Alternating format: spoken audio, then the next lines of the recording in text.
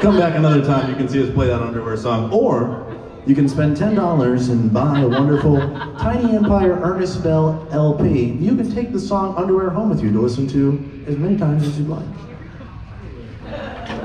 Yeah, well, how does that help us now?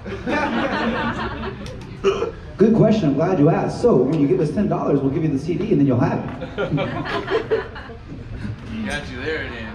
That's true. Yeah. I dare you use logic again. One monthly payment of ten dollars. You too can own a yeah. hey,